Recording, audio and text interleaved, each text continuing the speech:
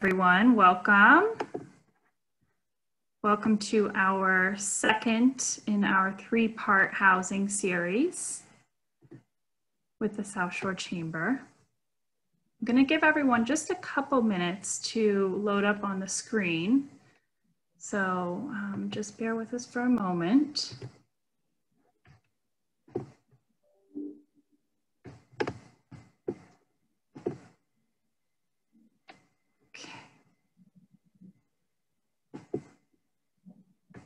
Right.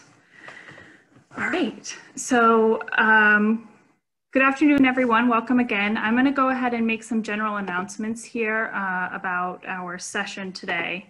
Um, we are going to be recording and uh, it is recording now, so just keep that in mind. Um, we are very excited to have um, some really wonderful experts with us today. Um, my name is Courtney Biergard. I am the housing lead at the South Shore Chamber of Commerce. Um, we, uh, for those of you who aren't aware, we are a, a regional chamber. We uh, have a large economic regional development plan called South Shore 2030. I encourage you to um, take a look at our uh, website, www.southshore2030.com. Um, we would not be able to do any of this work without our housing initiative funders, uh, Rockland Trust, Cape Cod Lumber, Fire King, uh, Mass Housing Partnership, and Sullivan Tire. So I just want to give a huge thank you to them. Uh, we are in our third year now and um, really starting to see some, some great inroads with um, our local communities and, and looking at housing as an economic development tool.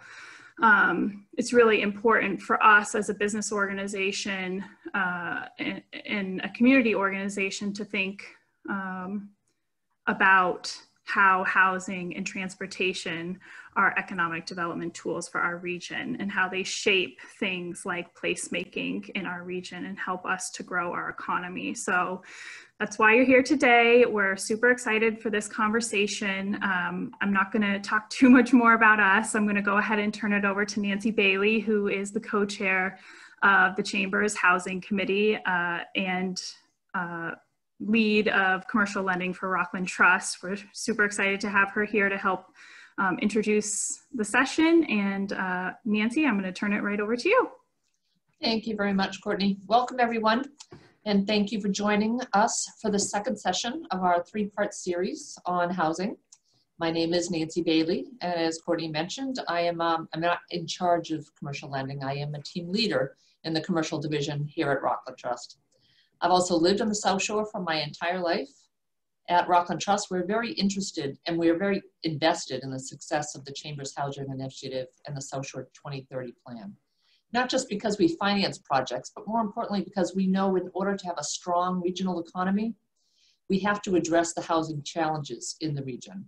It's a critical issue for our businesses, sustainability, because it greatly impacts the capability of our company to recruit and retain our most important assets, our talent. As the co-chair of the Housing Committee, I wanted to share a few quick updates. Rockland Trust has been involved since the beginning here we are three years in and we're really starting to see some great progress. We've seen some local zoning changes resulting in more homes, more collaboration across communities, and more engagement from the business community in the economic development work. The Housing Initiative has been a catalyst to take on additional strategies laid out in the South Shore 2030 plan. This year, the Chamber launched its Transportation Advisory Group and a water and sewer site readiness study in partnership with the Metropolitan Area Planning Council. If you want to learn more about either of these initiatives or any of the work in the 2030 plan, reach out to Courtney, Peter, or anyone on the staff. With that update, let's go ahead and get started on the program today. We are very happy to have with us some amazing ex experts in the housing and transportation space. I'd like to start by introducing Janice Bergeron, Vice Chair of the Chamber's Transportation Advisory Group. She will be introducing our speakers and serving as the moderator for the Q&A portion of the program. Janice is the president and CEO of R&D Consultants, a firm specializing in comprehensive consulting services on the transportation, infrastructure, real estate development, and construction. Janice has worked in the engineering and construction industry for 25 years with a focus in complex transportation and development projects. We're thrilled to have her as your expertise today. Janice, you're up. Thank you, Nancy. So great to be here.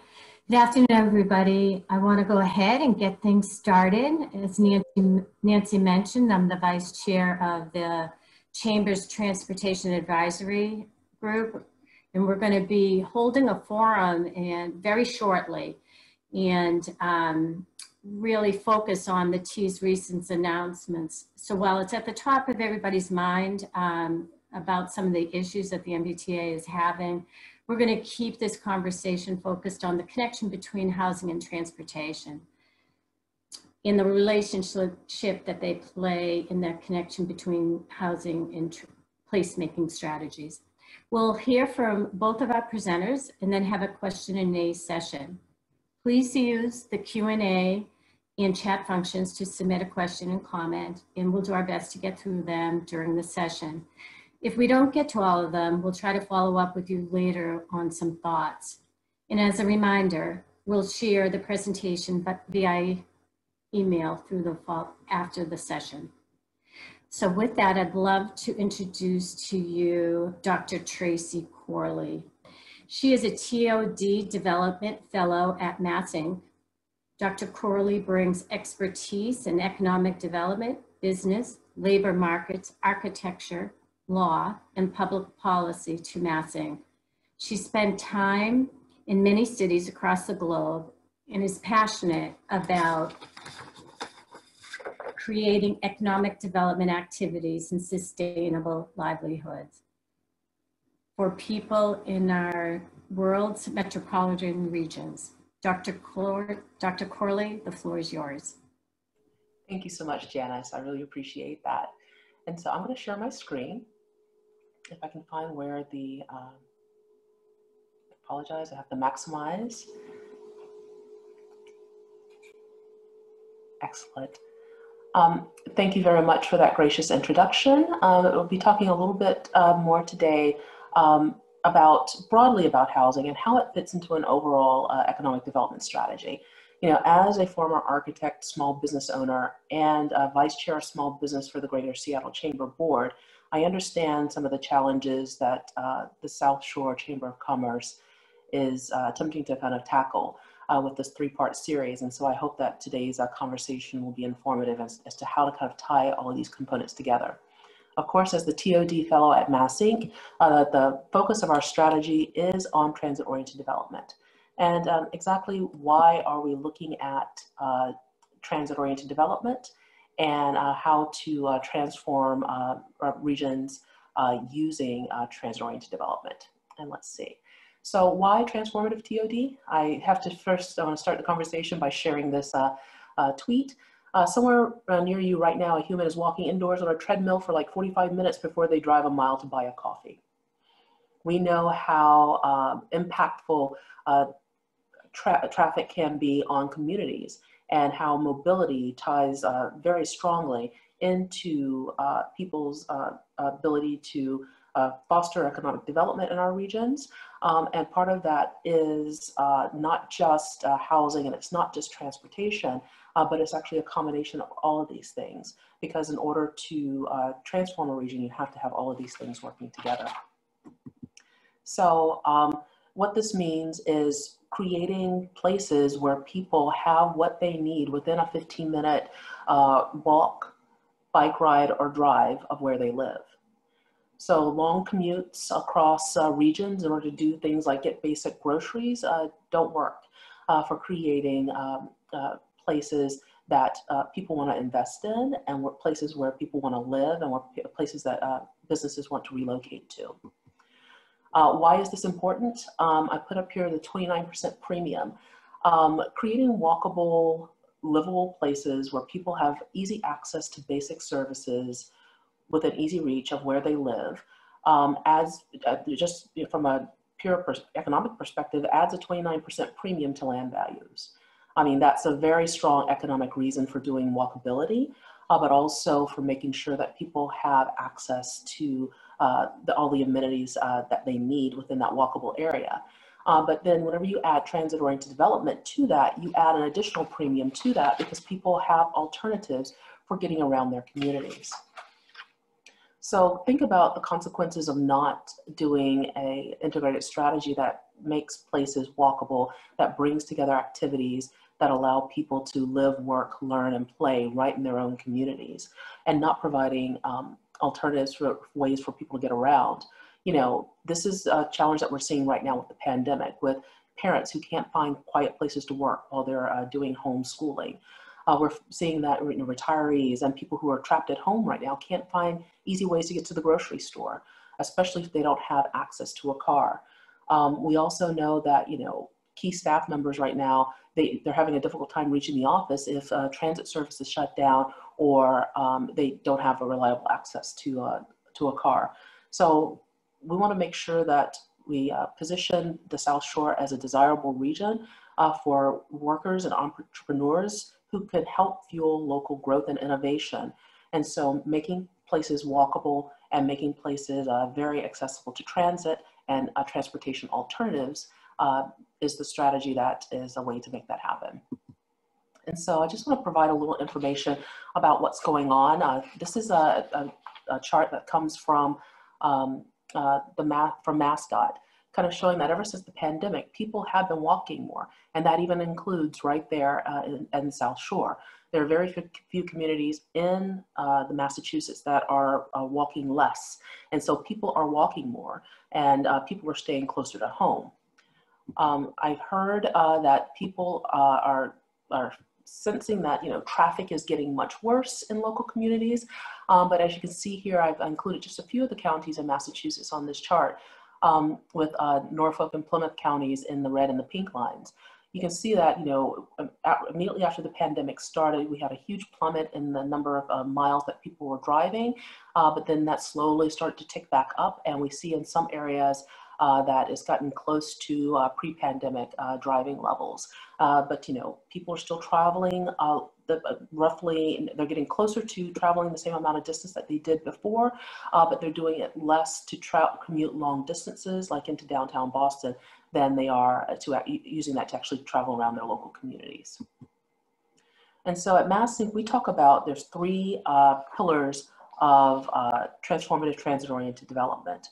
Uh, we think about these as three pillars because all three of these are required in order to create a place that has access to all of those uh, pieces that actually make for a region that's desirable for pe people to both move to, as well as for businesses to invest in and move to.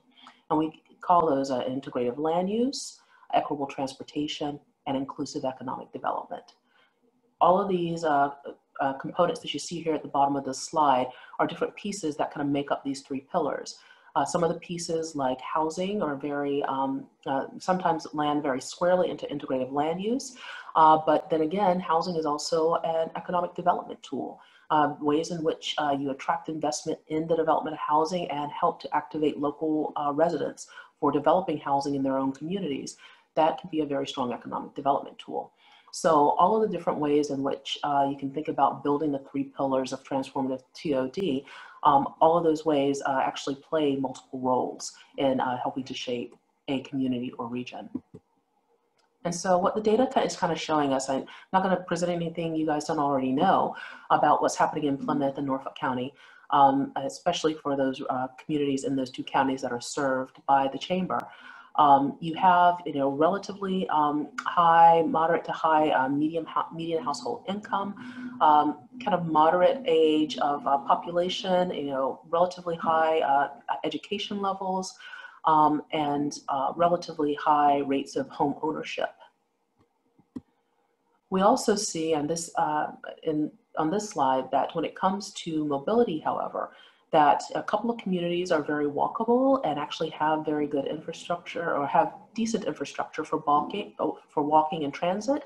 Uh, but for the most part, uh, across the South Shore, it is a very car dependent uh, region of the state.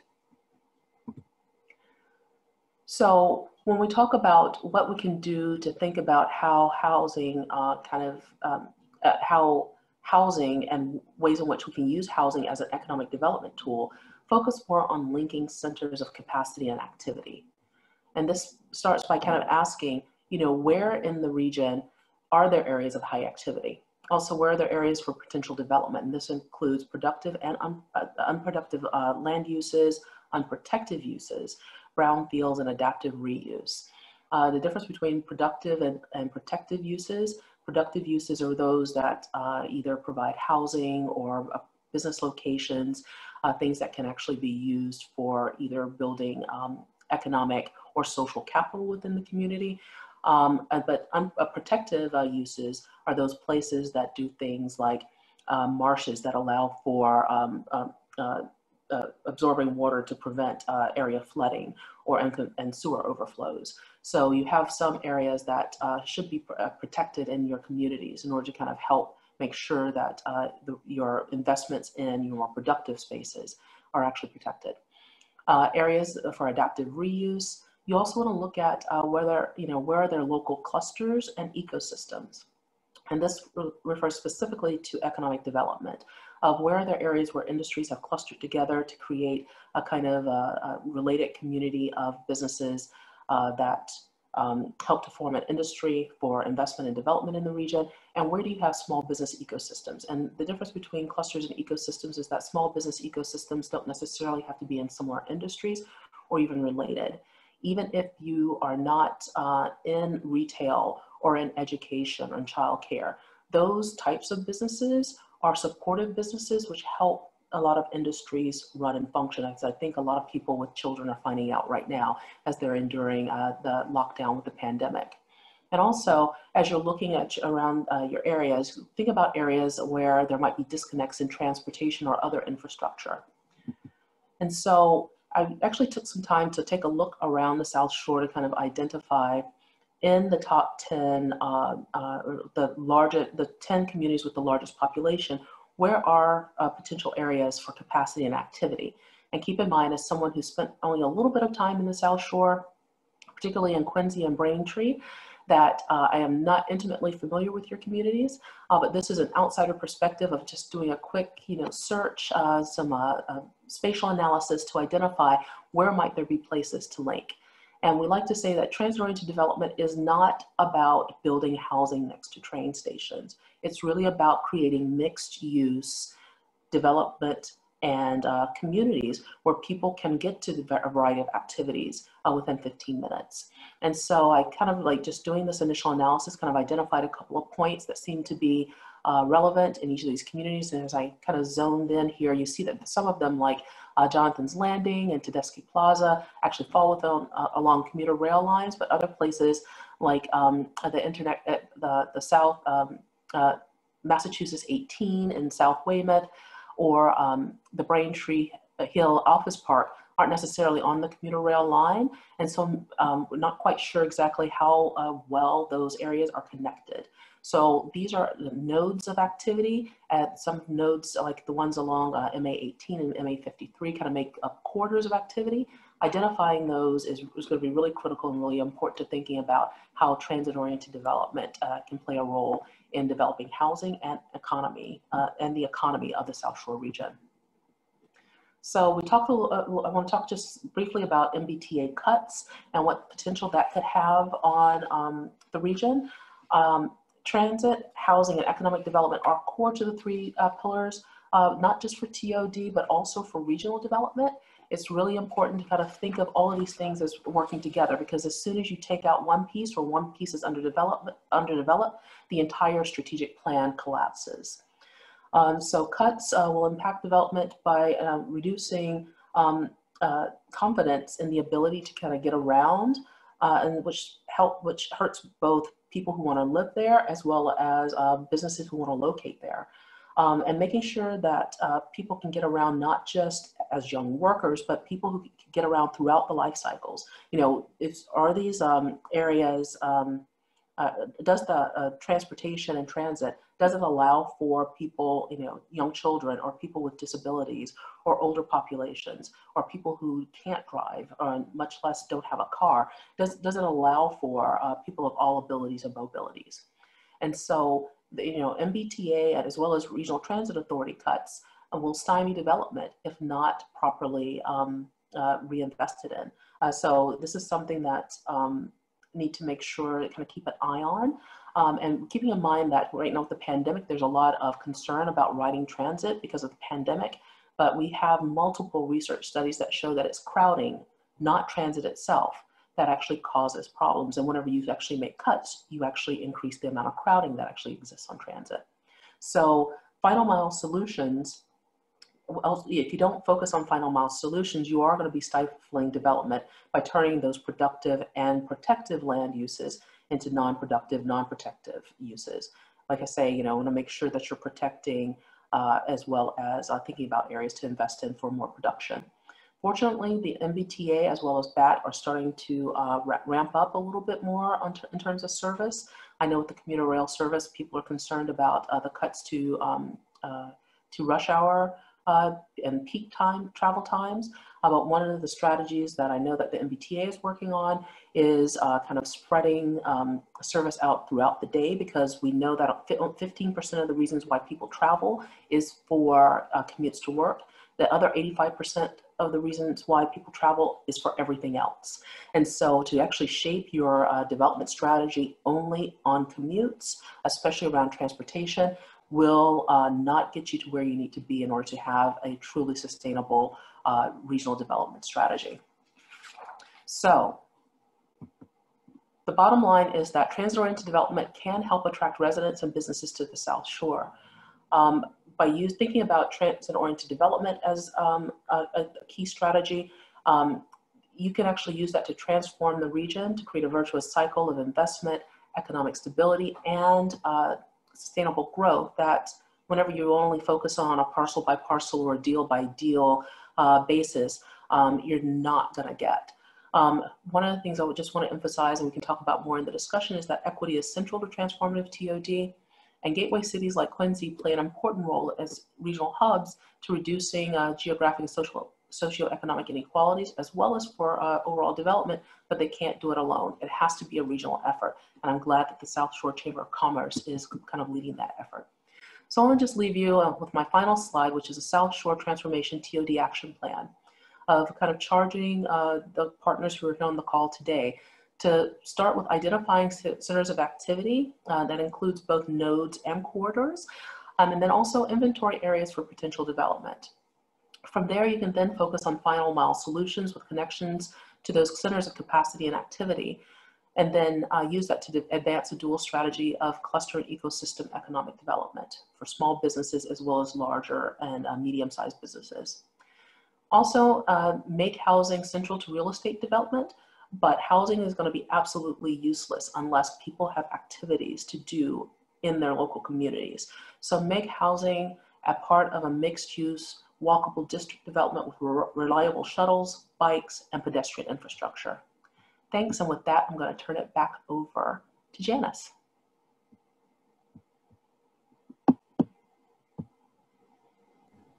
Thank you, Dr. Corley. Your presentation was fantastic and um, very informative as always. So with that, I want to um, introduce our next speaker, Callie Clark. Callie is the Director of Policy for the Center of Housing Data at Massachusetts Housing Partnership. MHP created the Center for Housing Data in 2017 to promote effective housing policies. Examples of its research include DataTown and TODEX, which we'll hear more about in Callie's presentation today. The center provides access to demographic, transit, and housing data to improve state policy, foster effective community conversations, and ensure that we meet our housing needs throughout Massachusetts. Callie, the floor is yours. Thank you very much, Janice. I'm just going to share my screen and then we'll jump into the presentation.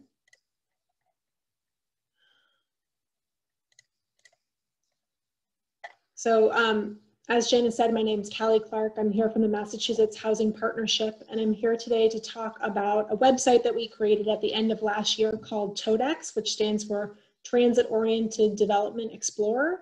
Um, Tracy did a great job of setting up um, what's currently happening in around TOD and what are some future questions we should be asking. And I have a little bit of additional data behind that to kind of set the context for what's happening here on the South Shore. Um, so as you said, just a little bit of background, I'm from the Massachusetts Housing Partnership. We're a quasi-public agency created in 1985. Um, our goals are to increase the supply of affordable housing in the state and work with municipalities to demonstrate new and better ways of meeting our affordable housing needs. Um, we do this in four different ways through work of our community assistance team. I think my colleague Katie Lacey might be joining us today. Um, through permanent financing for affordable rental housing, through our One Mortgage program for first-time homebuyers, and research on housing data to support policy efforts, which is why I'm here with you today. Um, so a little bit about the website that I'm going to show you today. Um, the website was created in order to have more conversations about land use that focus on the interconnectedness of housing, transportation, and climate. Um, the TODEX website is our first step in doing this with future research focusing on the nexus of these crucial priorities. Um, again, Dr. Corley walked through this, but why prioritize TOD? Why are we as a housing organization focused on transit-oriented development? Well, there are a variety of reasons why we think it's so important. Um, reduce car dependence, successful transit systems that rely on concentrated development patterns. Um, oftentimes our current land use patterns are just not environmentally sustainable. Thinking about quality of life in the Commonwealth with better access to jobs, recreation, and services, um, we are at MHP really focused on affordable housing near public transportation to provide mobility and access for those who need it the most. Um, as many of you know, I'm sure, um, before COVID, uh, tough commutes take away from economic activity, impact public and mental health, and then infrastructure efficiency from concentrated development. Um, so a little bit of background about the website and the methodology before I jump right into it. So um, the way that we created this website is we um, use three different sources, tax assessors data, um, master address data, and also a proprietary database called CoStar. So what we're really looking to do is around every single station area in the MBTA system in the Commonwealth, what is the residential density around each of those stations? Again, to kind of set a line in the sand of where are we as of this time, um, and we're hoping in um, years to come, we can reflect back on where we've been and see the progress that we've made. Um, so the most important thing was calculating these station areas and their residential density. Um, so what we did is we created station areas in uh, GIS or Geographic Information Systems. We created a half mile buffer around each of these stations as the crow flies. So this does not take into account walkability. Um, then use buffers where, where they overlapped in order we use Thiessen polygons to make equidistant divisions between stations. So this is basically if there was a um, large concentration of stations, mostly um, on the, um, red line, for example, we were able to separate out different stations. And um, we also omitted protected green space and um, from the station area land calculation, so we weren't holding, uh, using that against people. Um, and from there, we created residential density metrics. So we took the total residential unit count as of the most complete data that we had available. And again, this was released in December of 2019, and then divided it by the total acres in this newly created station area that we had calculated. Um, and so here are some of our findings. Um, uh, I looked at um, the station areas within the South Shore um, Chamber catchment area um, and found that you have 30 station areas on the South Shore. Um, it's an overall pretty low density of 3.2 homes per acre in these station areas. Um, for context, um, the entire system, I believe the average is 6.2 homes per acre, so about half of that. Um, of the 30 stations on the South Shore, 23 had a gross density level of less than five units per acre. Um, and one metric that we use, you know, um, some of these is, is that good, is that bad, what does that mean? Um, so when looking at the entire Commonwealth, um, we said, well, as a thought experiment, what if the, um, you know, I said it was 6.2 units per acre was the average across the Commonwealth. And we said, well, what if we shot a little bit higher and thought about um, an average of 10 homes per acre for every station area in the system or across the system. Um, so that's kind of our the goal that we set um, as a thought experiment. If we did this on the South Shore um, with these 30 stations, that would account that would um, add up to almost 75,000 more housing units on the South Shore. Again, with that high metric of um, 10 units per acre across the South Shore system. If we have that, which might be more appropriate for this region, and thought about an average of five homes per acre, we would still be adding over 20,000 more housing units on the South Shore. Um, and again, I'm gonna walk you through some examples so you can see what does around 10 units per acre look like compared to what does five units per acre look like. And just another thing that um, the data collection told us is there's a huge variation in development patterns as a result of um, inconsistent expectations uh, around TOD values across municipalities. So as we all know in Massachusetts, um, land use is a local decision um, and using this TODEX website, you can see the, the different decisions made at different points uh, around transit-oriented development. So with that, I'm gonna walk us through a few examples that I thought were um, interesting to look at for your region. I'm gonna start with um, denser stations and then um, end with the, the least dense station in the system, which I believe is the Kingston station. Um, and we'll have plenty of time for questions after this so we can kind of dig into the data if people are interested in that. Um, so this is Quincy Station. Um, as you can see, um, it's on the red line, also um, serves commuter rail. It notes what communities are served, again, by this created station area that we created tells you the total number of residential units.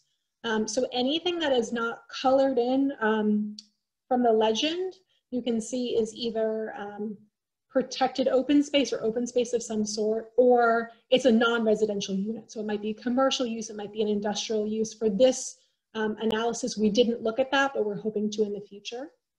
Um, and as you can see, um, Quincy Center is one of the highest um, stations. I think it was the second highest in your region with eight units per acre. Um, another station, Wollaston, again, serving the, the city of Quincy, over 3,000 total units and 6.4 units per acre. So that's, that's coming a little bit closer to that five units per acre um, goal that might be appropriate for the South Shore region. Um, another great example, one I'm very familiar with, my friend lives uh, about a five minute walk away from this station, is Weymouth Landing East Braintree Station.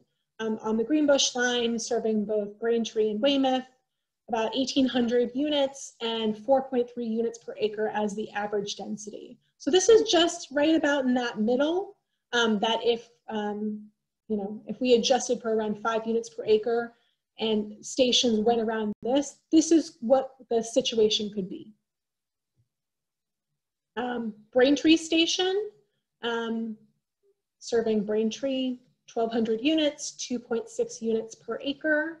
Um, and as we can see here, um, it's not that the Braintree station isn't busy. There's obviously a lot of commercial and industrial, which you all know better than me, but there looks like there could be some additional opportunities for density. Um, West Hingham. Um, this is an, an, example as we start to go into more suburban communities. You can start to see the, the residential parcels. Um, right here, each of these is a residential parcel. They've gotten larger.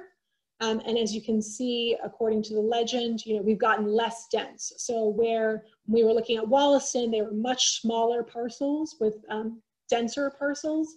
Now we're seeing larger parcels with less units on them. And again, more um, protected water or open space.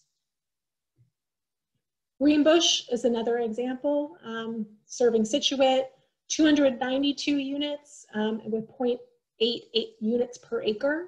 Um, my understanding is that the town of Scituate has been really proactive in thinking about zoning moving into the future. So this is an example of, this is a snapshot in time and maybe in a few years, uh, this station area could look really different.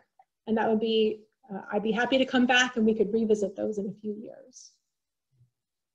And then this is the least dense station you have on the South Shore. It's the Kingston station. And I'd love to hear more from people, maybe in the Q&A about, um, you know, what, what is it actually like to walk around this station? Do people walk around this station or are you just driving and parking and getting on the train? Or were you doing that, right?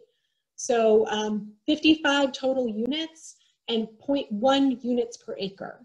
Um, my understanding is that this station area was a proposed 40R development. I don't know if that moved forward, but again, what could this look like if that 40R overlay zoning came in? Are there opportunities here? I'd love to hear more about that from everyone in the Q&A. And with that, I just want to put the information for the website, mhp.net backslash todex. Um, my name and contact information, as well as if you would like to follow us on Twitter, where we, I think every single week, we highlight a different station um, in the system and talk about what's going on there and get comments from people, um, please do. And with that, I think I will hand it back to Janice and we will start to go into questions. Thank you. Great, great presentation, Callie. Every time I see your presentation, I learn something more. So thank you for that. Um, we do have some questions in the chat box, so I'm going to get right to it. Um, so somebody, Katie Lacey asked, um, are these just unit acre numbers for the 0.5, 0.5 mile radius around the station? Um, I think she's asking whether or not it's a half a mile around the radius of the station is really what your calculation is. Yeah, I'll take that one. Yes, that's correct. And Katie Lacey is one of my colleagues. So thank you for uh, giving me a softball, Katie. I appreciate it. Yes, um, we created the station areas, again, as the crow flies, half a mile buffer around the station areas. Um, for some of them, they end up being the area is less than half a mile because there are so many stations close to each other. Um, but for the South Shore, I, I, don't believe there was much overlap with any stations. And just so everyone knows, at, at, at MassInc., whenever we're doing our um, calculations of the TOD areas, and I focus primarily in the gateway cities, but when we're doing our calculations, we also use that half mile radius. Uh, but right now we're working on a research project where we're combining some information about walkability and bikeability uh, to get a more accurate understanding of what the uh, study area around each rail station and each transit uh, hub should be uh, to kind of be very much more reflective of some of those issues that Callie brought up in her presentation about you know, protected green space, waterways, um, things that uh, are going to be very difficult to even think about in the development process. Okay, this is coming from an anonymous attendee. How do we get buy-in from our local governments, Boston, ZBA, et cetera, who are elected and directed by the NIMBYs, who think any type of non-McMansion development will turn their town into an urban area? Yeah, yep. Kelly, do you want to go first? You want me to go first? uh, why don't you go first and I'll jump in? Okay. So yeah, so I, I, remember seeing these questions as you were giving your presentation, and, and you know this is something we're having to uh, deal with all the time. Um, you know the the phenomenon of uh, uh, NIMBYism. Um, and, and, I know that uh, uh, Gil Penalosa, who is a noted urbanist, uh, he, he, he, mentions uh, uh, cave people, which stands for Citizens Against Virtually Everything. And sometimes you have communities where you have uh, a lot of cave people who just are just not at all interested in having some conversations around um, doing any type of development, especially not housing. but the real question though becomes kind of where, where are the objections? And I've heard that in the South Shore, a lot of those objections uh, stem around uh, uh, concerns around increases in traffic.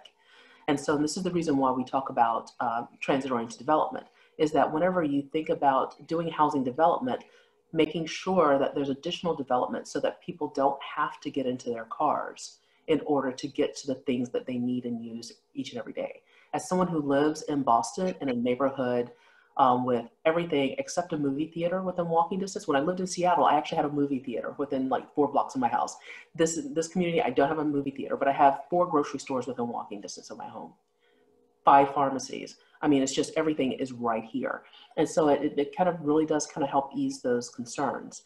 I think another thing is to keep in mind that whenever we say density, the first thing people think about is bulk, giant hulking buildings that are going to block sunlight.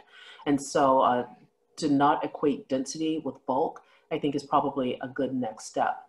Um, you know, I, I, there are communities and cities here in the United States that do this well, but actually I think some of the best examples come from my time in Germany, where it's actually still kind of common practice where you never build any building higher than the church steeple in the town.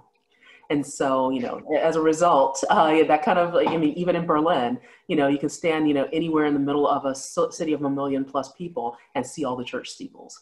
Um, and so there are very few areas where you have high rises. And so I think that, you know, kind of thinking about density as there are different ways to do density without doing, you know, your standard, you know, high rise building. Um, I think that we also should be asking uh, developers and architects, I, as a former architect, I agree with this, to be more creative in how they come up with solutions to increase density without increasing bulk. I think the only thing I would add to that is, um, you know, thinking about who is speaking up in support of housing. I think that's why it's so fantastic that the South Shore Chamber for many years, and we at MHP have been thrilled to support the South Shore Chamber um, in their efforts. You know, oftentimes I think um, people get tired of hearing housing advocates or transit advocates advocating for the thing they're supposed to be advocating for. But when it's someone you didn't expect, and um, you know, in years previous, it was the business community. When the business community, especially on the South Shore, started coming out and saying building housing and thinking about walkable neighborhoods was an economic imperative, I think that really started to shift the narrative. Um, so I would just encourage you think beyond the usual suspects. Think about who's really impacted by um, building or especially not building. Um, people often think of, well, who can't live here? Um, can I encourage someone who wishes they could live in a community but can't because of the current um, housing situation? Can they come and speak at a public forum and say, I would love to live in this community, but unfortunately, because of your situation, I can't. Um, I find that that's been really effective, especially at the at the hyper local level. Yeah, I, I, just want to also add to this um, because one of the central tenets of uh, our recent equity report, I'll uh, find the link and uh, share it with you in the chat, um, is that a, a, key part of the process to kind of stop some of the uh, resistance to development, not just, you know, real estate development, but other development in communities, is to involve, involve people in planning their local communities and doing so in a way that is equitable and very inclusive. Like, like Callie said, you know, not just having the usual suspects at the table, but being very deliberate about getting people who usually don't speak up and speak out engaged in the planning process. And so, and that involves really um, uh, a, a lot of facilitating a lot of conversations to really understand what people want and need. And also for local governments to um, kind of get out of the way and I think that that's hard uh, whenever, you know, um, uh, people are, are, are very vested in maintaining power and control where they have it. Um, but I think that um, communities can work together, not just advocates, but communities can work together to say, hey, we want a hand in shaping what the future of our community looks like. And we're tired of, you know, these five or six people um, totally holding up this process for everyone else. So, um, uh, but you know, that does take a lot of conversation, a lot of work of being more civically engaged, which is something that I think that we've just gotten away from as a culture. Dr. Corley, on those same lines, um, this is a good question. I think you answered it, but I think they're looking for maybe just a little more specifics on um, what are the best ways to involve the public supporting TOD and um, how, how do you really reach the underrepresented community members? Yeah, so uh, actually we're um, conducting some research right now, once again, in our gateway cities um, in partnership uh, with UMass Amherst and Walk Boston. And one of those ways is that we're actually getting uh, people from all across the community, all walks of life, participating in walk audits where we're asking them, you know, in this region, you know, in the TOD area, just walk around and tell us what you're seeing. You know, send us your photos and your videos. What do you like? What do you hate? What do you wish you could change? What do you wish there was more of? And uh, it was part of a, a, facilitated process of where we have, you know, a preliminary conversation um, and then send people out to walk and then we have a follow-up conversation. And so far it has been fabulous. We're having people, you know, who are, you know, you know, decision makers in, you know, the local communities. We have people who have been homeless from the local communities. We have people, you know, crossing uh, racial, ethnic, uh, socioeconomic, cultural lines. Um, there are even uh, talk of how, you know, I think that, you know, as someone who's lived in Germany and I speak German, I speak fluent German, but just because you're fluent doesn't mean you can speak uh, and completely comprehend and understand even what a native uh, person, especially the dialogue, di dialects. And so, you know, how do you kind of make sure that people have an opportunity to participate, you know, in their native languages? Um, and so I think that um, uh, there are uh, many ways to kind of engage people in different ways. Uh, and, and that's one example. I also highly recommend looking at a TOD talk that we did around joint local planning. It's, it's being produced in partnership with GBH. And um, uh, the head of the uh, sustainability uh, team, Leah Bamberger, who actually, um, I think, grew up here in Massachusetts, um, she, instead of thinking about, you know, doing planning, she said, we just need to address racial equity and justice.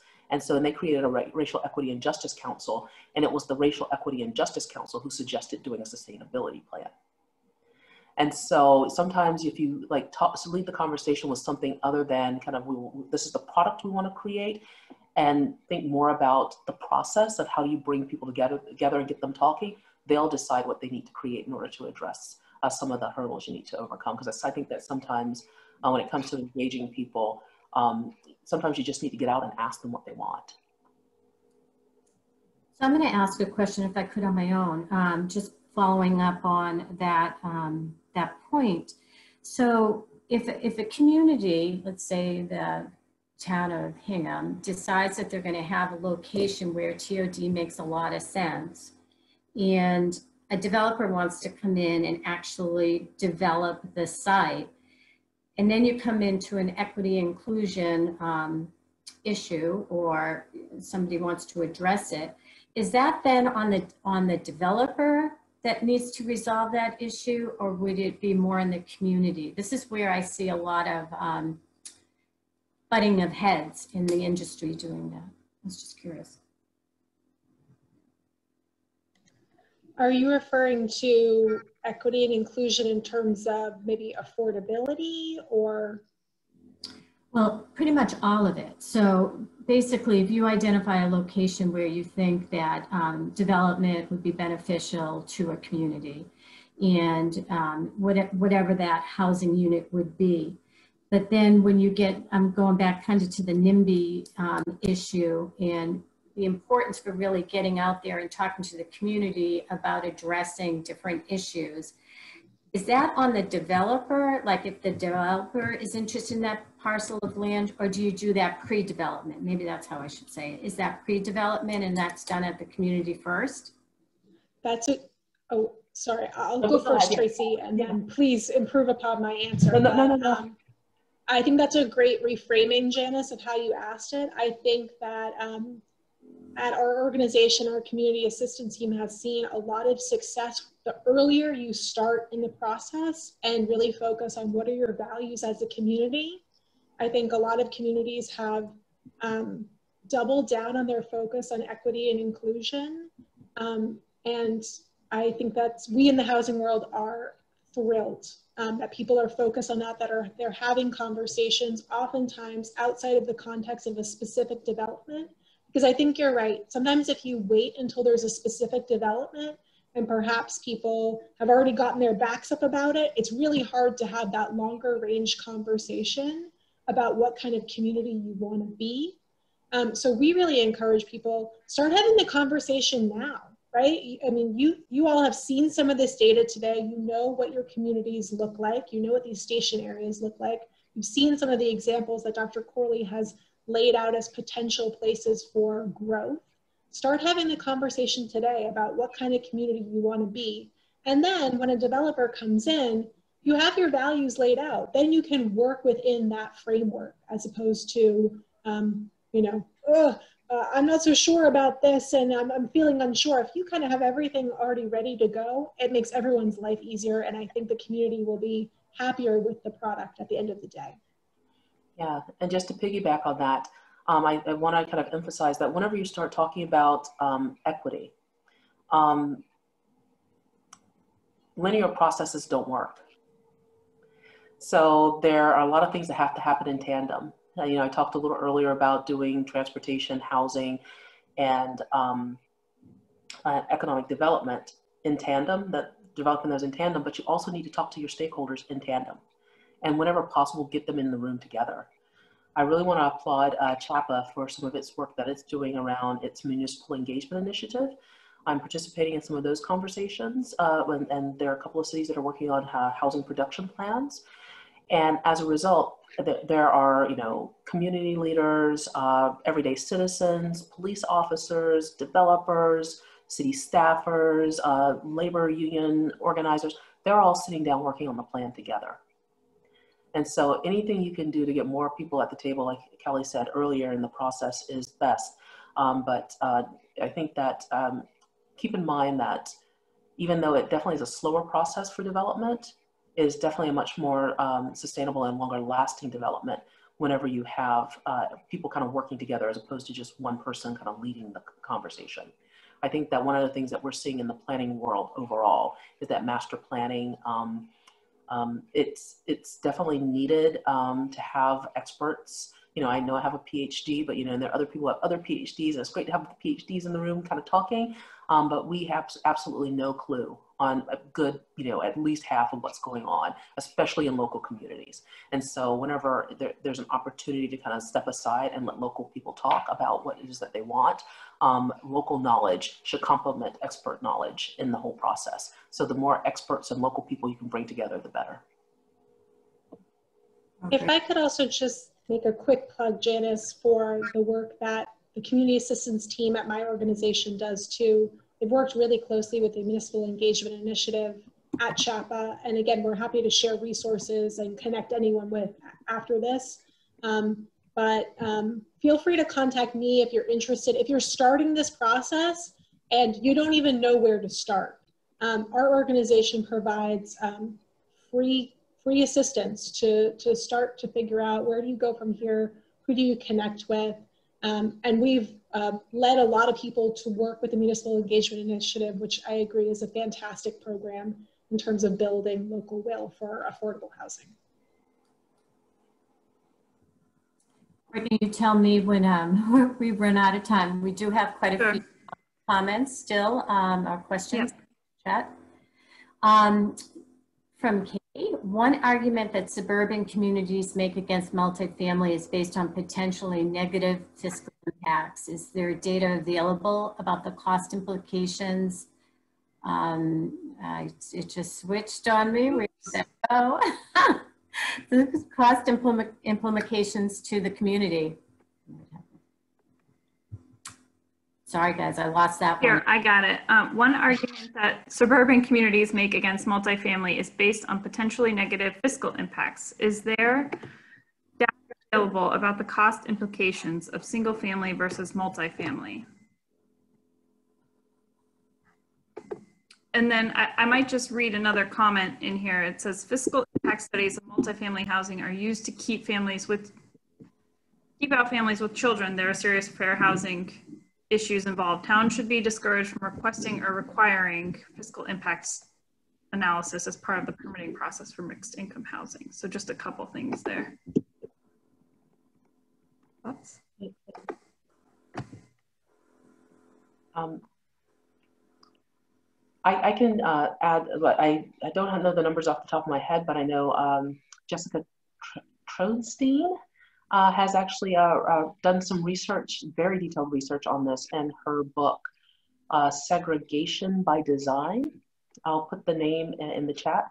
Um, uh, but yes, there has been some extensive research on kind of what happens when you have kind of deliberate efforts to um, segregate communities, and she has some very specific numbers on the economic and social impacts of lots of data in that book.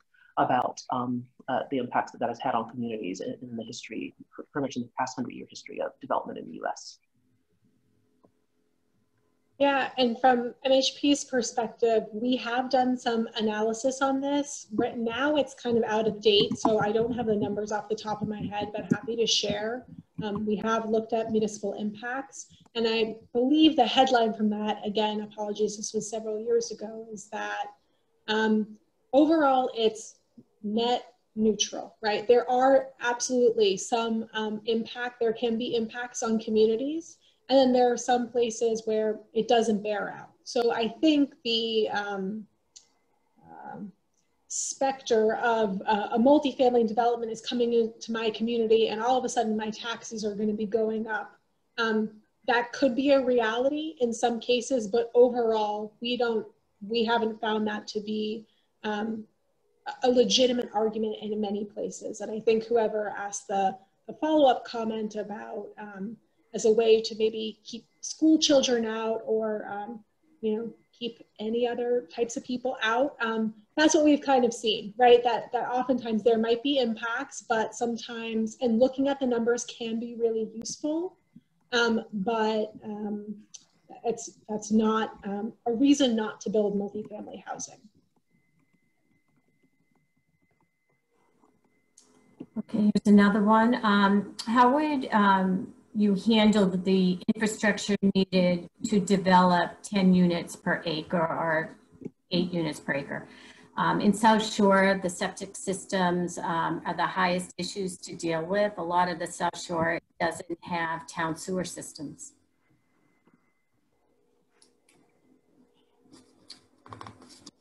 Um, so I'm not an infrastructure expert and my understanding is that you all have a working group coming up that's actually looking at this specific issue. So I might shoot that back to the South Shore Chamber and say, stay tuned.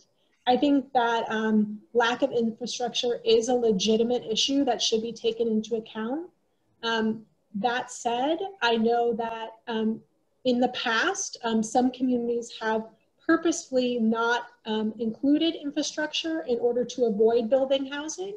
Um, I can't say if that's the case on the South Shore. I just know what has happened in the Commonwealth in the past. So that is a legitimate limitation. Um, but I'm looking forward to seeing what the South Shore Chamber is able to learn about this. And I'm looking forward to that webinar coming up. And oh, I can, sorry, I can just say just a couple quick points about that, or Peter, if you want to chime in. But um, we are um, undergoing a study of a handful of South Shore communities along with MAP, MAPC is kind of um, is leading the study with us and we're doing some analysis of the water and wastewater capacity in a handful of our municipalities to try and identify some solutions to some of those challenges about capacity um, and, and more regional solutions, um, more collaborative solutions um, across communities. So it's about halfway through the, the process and um, you know we'll we'll have more to come on that uh, in in you know early 2021.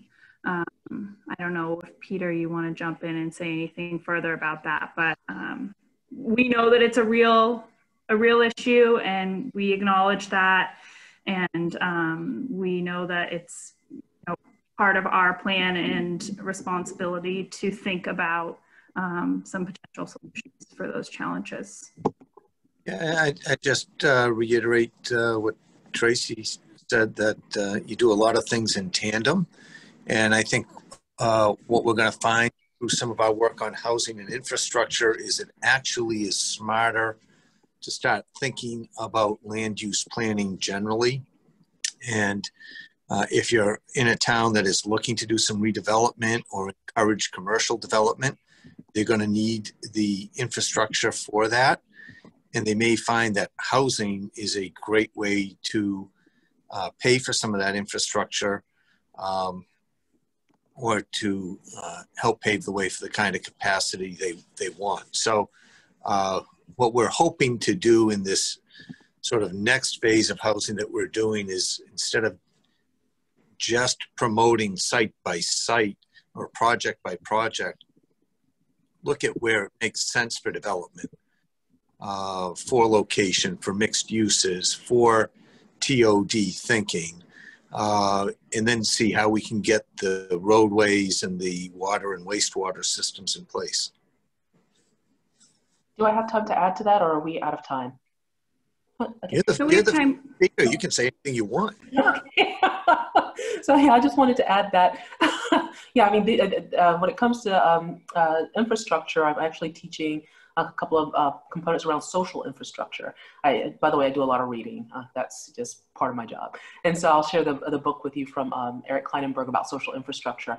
Um, but uh, infrastructure can serve multiple purposes. So instead of thinking about putting in a wastewater system or, uh, uh, or, or, um, or a sewer overflow system, think about how um, like a bioswale can also serve as a public pool or how uh, heating and cooling system, when I was at Clemson University many, many decades ago, you know, the heating and cooling system for the library was also a reflecting pond. Uh, and so, uh, so, I mean, things can have multiple purposes and uses uh, but also consider pursuing some neighborhood level um, uh, infrastructure as opposed to thinking citywide uh, because you know I used to do a lot of clean tech uh, development work in Washington State and I've seen a lot of really cool technologies like biojet fuel has been with us since 1998. Why we're not using it is all a matter of policy. So there are a lot of really cool technologies to do neighborhood level electricity develop, uh, generation to create uh, neighborhood level wastewater systems to actually turn uh, garbage and wastewater back into usable productive products. Uh, so I think that, you know, by using some uh, newer innovations that are actually less costly and actually more efficient, um, I think that those are some, just to kind of get your creative uh, juices going. So I'm just gonna put that out there and there's, there's a lot of digging that can be done there. And some other things that it's a little out of the norm, but a lot of um, states are doing value capture um, opportunities. They're doing that. They just started to do that a little bit in Massachusetts um, around Assembly Square, around the New Balance station facility. So there's ways to garner some funds through the development. You can also, um, the towns and cities can set up um, district um, improvement zones um, where they would, depending on what they would build, they could get um, monies based on the sale to pay for the infrastructure improvements without getting too technical. Um, but that's basically the gist of it. So a lot of communities are doing that and it's very successful. Somerville um, really was above um, the curve on that one. And I commend them for their their whole policy there. And Courtney, we should uh, recognize on that um, water, wastewater, regarding uh, the partners on that. That's being led by MAPC and it comes from a grant uh, from Mass Development um, with a, a grant from our own Economic Development Corporation. yes. Okay. Yep. So we have um, a couple more here. How do you see mixed use playing a role in increasing housing density on the South Shore? I can take a first stab at that. Um, so, sorry, the question was mixed use playing a role in increasing housing density on the South Shore. Well, I think what I've heard um, from the South Shore Chamber has been a real focus on um, not just having the South Shore be a bedroom community to Boston, um, but especially in this these COVID times, right, where maybe we're traveling less. You want everything that you need um, closer. Um, it shouldn't make sense to go into Boston um, or tr travel somewhere else for what you need. So I think thinking about mixed use can be a really great way to um, bring vibrancy um, to maybe um, some of your existing downtowns that um, maybe need a little help. Um, I can think of one specific example I've heard of in the past um, here on the South Shore, um, thinking about, you know, just increasing foot traffic. again, as I think people don't go to malls anymore, or if they do, you know, malls are changing, right? So thinking about what kind of that a traditional Main Street um, the South Shore has a lot of great existing infrastructure for that. I know there are a lot of wonderful communities where you can walk up and down the streets and it, you know, um, I, I bother my husband with this, but we walk up and down and they say, it'd be so nice if there was an apartment there, right? It'd be so nice if you could live above that and then um, walk to the library, walk to something. So I think it's a way to get away, you know, as um, Dr. Corley mentioned, get away from um, what maybe have been just large swaths of dense um, housing to thinking more about integrating housing into your community um, as opposed to having housing there and all your um, services in someplace else. So, so that's how I really think about mixed use being a benefit here on the South Shore in terms of housing diversity and affordability as well. Yeah, and I also want to add to that um, this uh, whole edge city phenomenon, as well as these kind of like uh, housing development enclaves. Um, uh, one of the things I find very frustrating is when greenfields, uh, this really great open space, is totally grazed. And uh, you put in place uh, these hulking new developments that have all the amenities you need right there in your own building, but they don't connect in any way to the rest of the community. And so you're kind of living in your little bubble. You've destroyed an area that could be, you know, like really great uh, space uh, for people to use for all. And meanwhile, some of downtowns have vacant storefronts and uh, uh, your existing industrial parks and malls and other commercial centers are, are, are crumbling because everyone wants, to have the shiny new thing in their own building. Stay away from that at all costs. It might look cool today and it might attract investment today, but five years from now, um, you're gonna have a completely decimated um, downtown in your town, in your city um, with you know these very vibrant places where shuttles, like they're doing today, are taking residents from you know your local community into these faraway places like going to like uh, Haymarket in downtown Boston. There's no reason why any development that happens shouldn't be connected to keeping people active and engaged in your own local communities. Great response. Um, we have one more here. Um, how do we improve on offering more affordable housing in the area? The development in Quincy Center and Quincy Adams are newer and more expensive units for development. And this seems to add to the concerns of equ equity issues. I can take a first stab at that. Um, so one thing that, um, if anyone goes to our Datatown website after this, which I just put a link to, is you can look at every single community in the South Shore and see where they land on their subsidized housing inventory or SHI, which is how much of their year-round affordable housing is designated as affordable. Um, I'm sure many people on the call are familiar with this. Um, so the specific question about Quincy, um, as I know Quincy has been doing a fantastic job um, in, is committed to building affordable housing in their community. What I, my first thing would be take a look at surrounding communities and where are they on their subsidized housing inventory.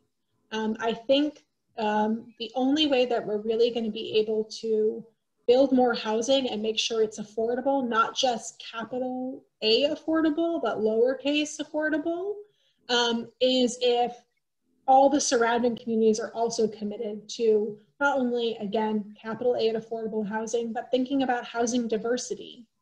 Um, I think another thing that we should be thinking about is um, zoning reform. So I would love to hear from people about um, when's the last time you updated your zoning codes in your community?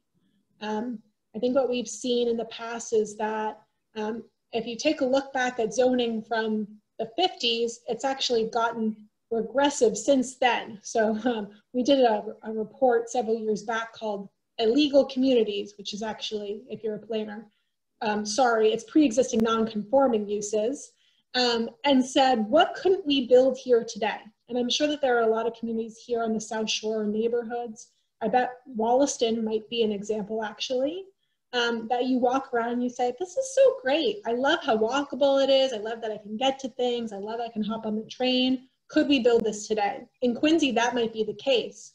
I wonder if that's the case for other South Shore communities. So that, that's where I would start. Think about um, zoning reform across the entire region um, And that might be one way to help you think about increasing affordability, again, um, here on the South Shore.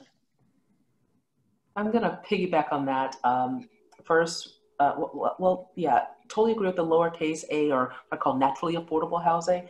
But I'm to kind of push back on the whole zoning reform thing um, and recommend if you're doing joint local planning, if you're engaging the local community in the planning process, you should not need zoning. So I would say instead of zoning reform, do a zoning phase out. How can we as a community get to a point where we have a land use roadmap so that we're actually making sure that we're not poisoning people, we're not killing people. And at the same time, you know, involve local communities as well as other communities in our planning process so that we can look at an area within our region and decide what's needed here because every single community is going to be different. Kind of looking at some of those TODEX uh, maps, there were some areas that had a lot of housing, but I always wondered, you know, okay, you know, there's great density for housing there, but how many jobs are there? How many retail locations are there? How many places of worship are there? That's one of the things that we're looking at at MassINC just in our, our Gateway City TOD areas. Uh, but every community is going to look so very different and it should be a community by community basis of what kind of land uses do we need here to make this a vibrant, active community for our region. And so zoning, once you start kicking around the lint with, you know, how tall the building is, um, then, you, you know, you're, you know you're in a bad spot. And we've been kicking the lint around for nearly a century. And so I think it's time for us to kind of get away from that and start thinking a little bit more broadly. And then also answering the question, affordable for whom? So I think that uh, the way in which affordable housing subsidization uh, calculations are made, uh, I look at the numbers and it makes me um, kind of both mad and makes me laugh to look at if you have, I think it's 25% of a building is affordable, then all of those units count as affordable. And it's like, what, what, does that even mean? So that it's very difficult to get a true count of exactly how many affordable housing units there are in a particular community or region. And so as a result, you know, affordable was as 80% AMI and then you have some extremely affordable units. But if you think about it, you know, in an average community, if, you know, your median household income is $100,000 and $80,000 is the, um, uh, is the threshold for affordability, but you have a large swath of people who are making the national average, which is 55, 54. Where do housing prices really need to be? Where do rental prices really need to be? And then do we have any public housing available to help people kind of fill the gaps between where the markets are? And then the other thing that kind of comes up for me is looking at other ways to actually construct housing.